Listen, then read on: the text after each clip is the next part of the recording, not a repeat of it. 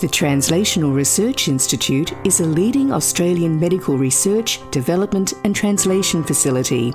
As well as world class scientific facilities, it has two dedicated clinical trial units, one based at the Princess Alexandra Hospital campus and the other TRI at Children's, located in the Queensland Children's Hospital campus, specialising in paediatric research.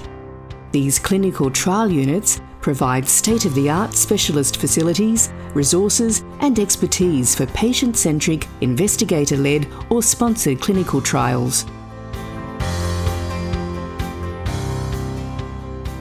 The purpose built clinical research facility at the PA Hospital is fully equipped for Phase 1 to 4 clinical trials. The facility is located in R Wing of the Princess Alexandra Hospital providing direct hospital ward access for emergency patient care if required.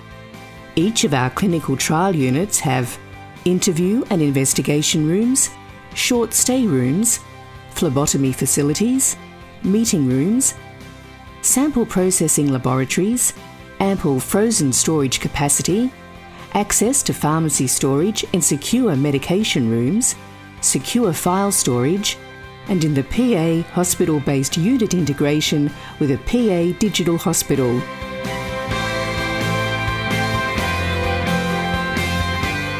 The TRI clinical trial units offer a fully integrated service with highly qualified nursing staff on site to conduct trials. We provide a range of services to ensure the success of your trial. We can assist with protocol development, trial feasibility evaluation, project management, and patient recruitment. We are also able to prepare your ethics and governance submission.